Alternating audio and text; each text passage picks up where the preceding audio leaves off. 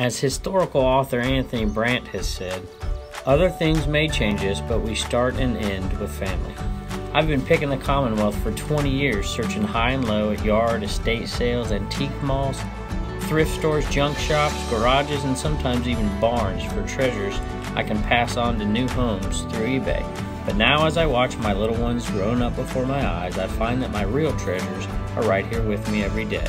So join us as we pick, flip, and resell on our two eBay stores and in our two antique booths. So I'm thinking this may be a $50 to $70 item. I mean, if this doesn't scream 1990s to you, then, you know, nothing does.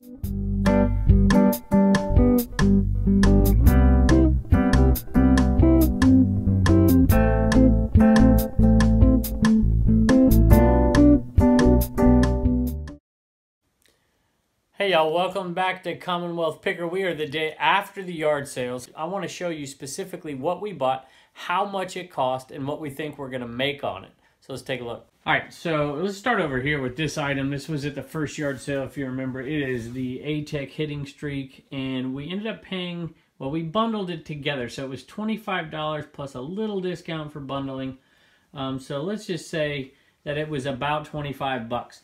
Uh, I think we can probably double our money if we take the Play It Again Sports. Probably. I'm not positive of that, um, but I think we can. Um, we can definitely sell it on eBay as well and double our money.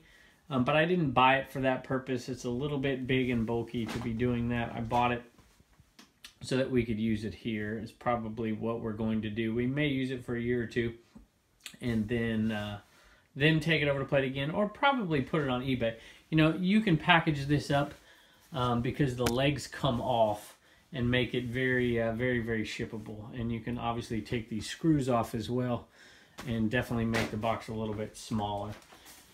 All right, now these we were haggling a little bit, and if you remember in the video, he told me we had a hundred of them, or he thought maybe there was a hundred. Well, um, I said there wasn't a hundred, but there actually is 49 of them, um, which means that 50 cents a piece would have been roughly, well, I guess it would have been $24.50.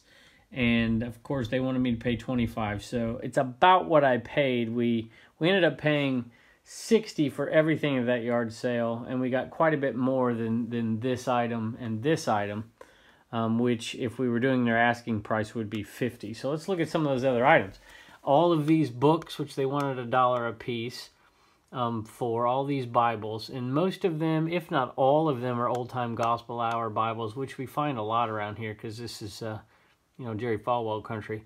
At any rate, each one of these has a, a resale value of roughly fifteen dollars, um, and if you pay a buck for one of these, fifteen bucks with fees and shipping is going to run you about six dollars. So that's nine dollars a piece profit. So there's five of them. That's forty-five dollars. Um, and I can process those, including shipping when they sell pictures and all that, in probably 35 minutes. So that's a pretty good, uh, pretty good hourly rate there. All right, there were a few other things at that yard sale. Um, that Shack Attack was probably my favorite, but let's go left to right here. U.S. Mail frequent stops. This is a magnetic sign. You saw it in the video. Um, it is something I've never seen before, actually. It's plastic, um, and it's just unique. You know, it goes on top of a vehicle, obviously, um, like the domino signs or whatever. And this is a magnet, and it was two bucks. So I think we can sell this in the antique booth. I'm pretty sure we can sell it on eBay. There's nothing like it on eBay, so I'm pretty sure we could sell it. Um, but the kicker for me, and I just did, I didn't even look at it, but I looked at it when I got home, is you can take this thing apart. So you can actually get this thing down to roughly this size and it'll keep the shipping down and it's definitely not that heavy. So I don't know. If I put it out there on eBay, I'd probably put it like $100 or best offer just to kind of see what the value is. Could look up worth and see if anyone's ever sold one in the past. I got some Blake Media from that yard sale as well. Um, as kind of a throw in. Now this was something you saw in a later video and I liked it and you heard me say I liked it. It gets the corners. Um, I don't know why I liked it, but I did. and I ended up buying it. it needs a little bit of cleaning, but just to show you that something like this will sell. This will sell.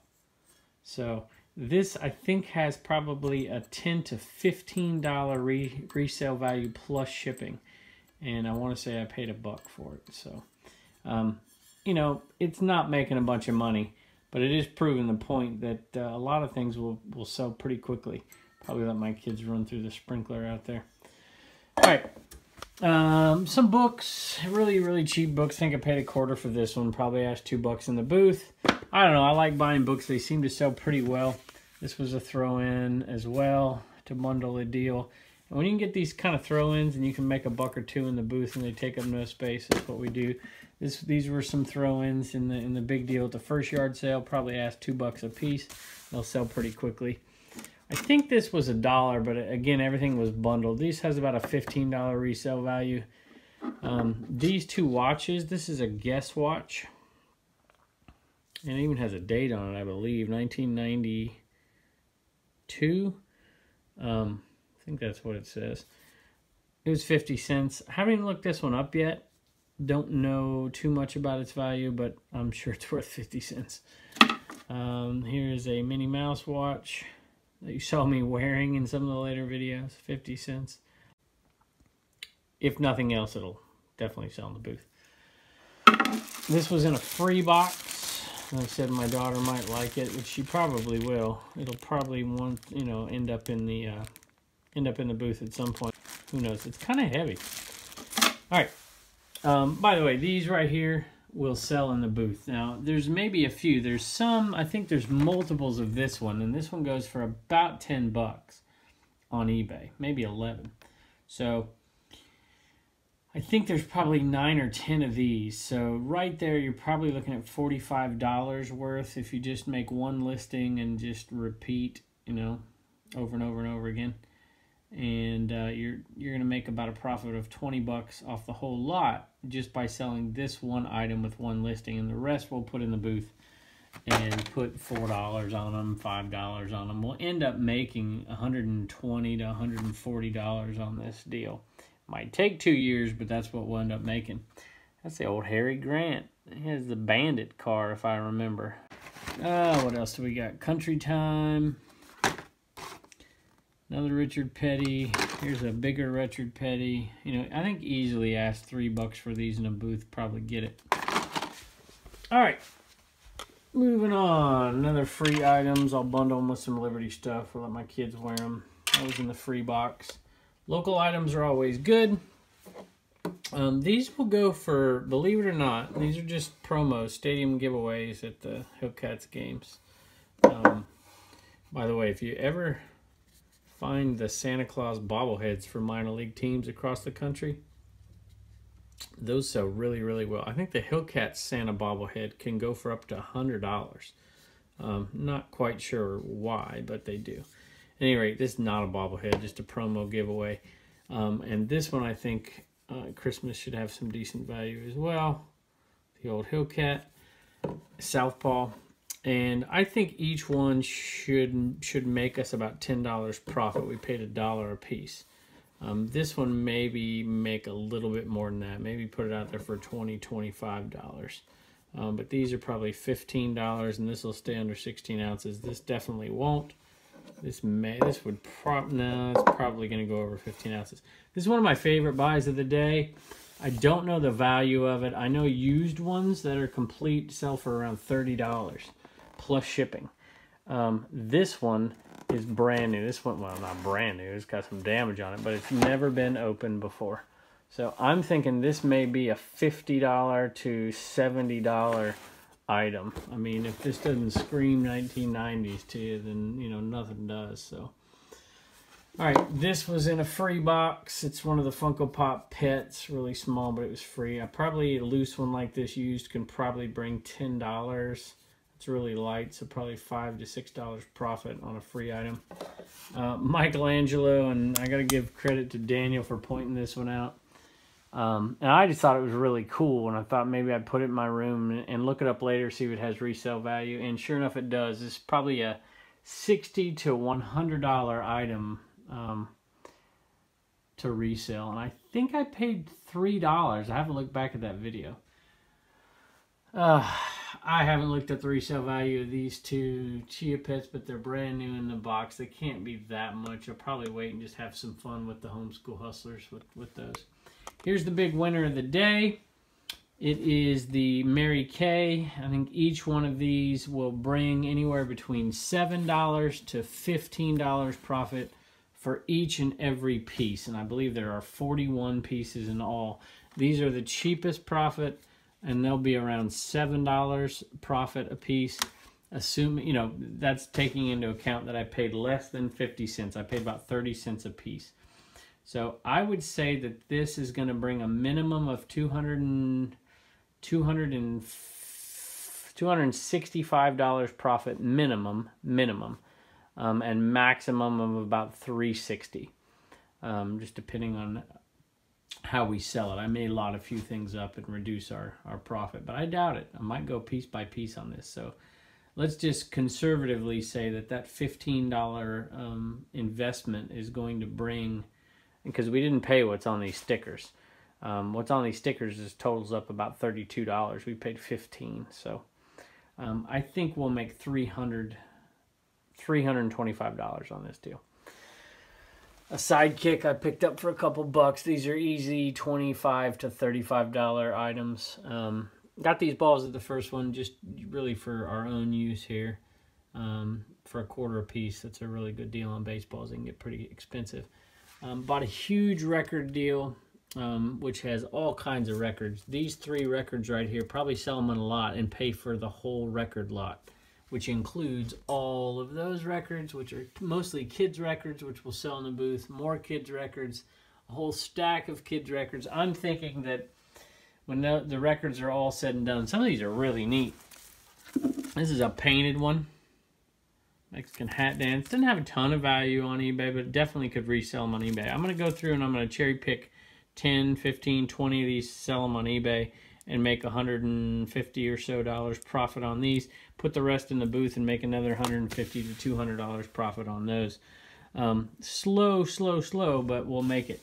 Saw this little thing. I don't even know what it is, but I picked it up.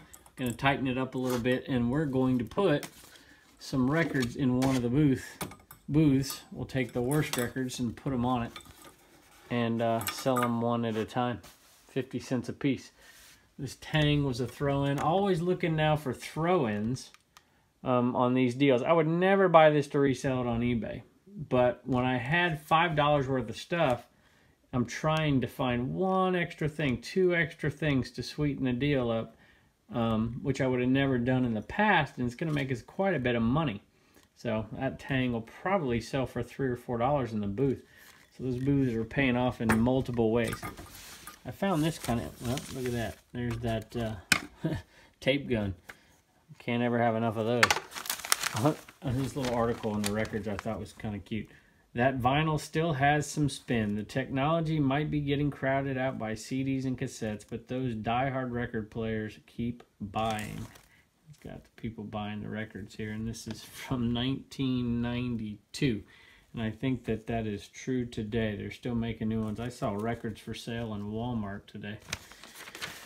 All right, this is an interesting one, and I picked it up, wasn't on the video, but I picked it up. Blocks have been selling really well in the booth for us, all kinds of different blocks. So when I saw this game, I thought maybe it might be something we need to pick up.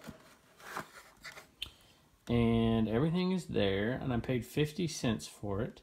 And lo and behold, I came home and see that the comps on this are like $30, $40. Um, so we're not going to put this in the booth. We are going to put this on eBay and make make pretty pretty healthy little chunk of change. Uh, a few more things here, and we'll call it a day.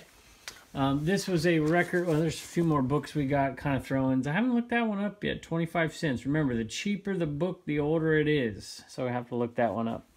Um, I think we paid a buck um, a, let's see, a buck a piece. Maybe, I think they wanted a buck a piece, and I think I paid $2 total for, for all three. So, uh, I just thought they were neat old books. We'll probably double, you know, we'll probably three, three, and two or something like that. I got to look that one up. We'll see if that sells on eBay. If not, we'll put it in the booth for a couple bucks. It's an old one. Uh, these are actually pretty good money makers. These records right here um, made us are going to make us some pretty good money. Ended up um, paying ten dollars for these. I found two records in here that will uh, sell together and make us a profit of about three, four bucks. The rest will sell in the booth for a buck, two bucks, three bucks, four bucks, and end up making probably uh, who knows, eighty to a hundred dollars on them. Um, for the ones that sell. Eventually, there'll be some that just don't sell. And we got to get rid of them. So, just a little uh, bolo, and Daniel was surprised to hear this, but minor league baseballs, and some of them aren't in great shape, so um, they won't go for as much. But minor league baseballs in decent shape will sell for around ten dollars, which means that if from a zero sum you're making, you know, five and a quarter, five fifty, and so some of these are really old ones, Carolina League balls. And some people collect minor league baseballs. They want to have a ball from every single minor league park. And so I think there were 16 balls in all.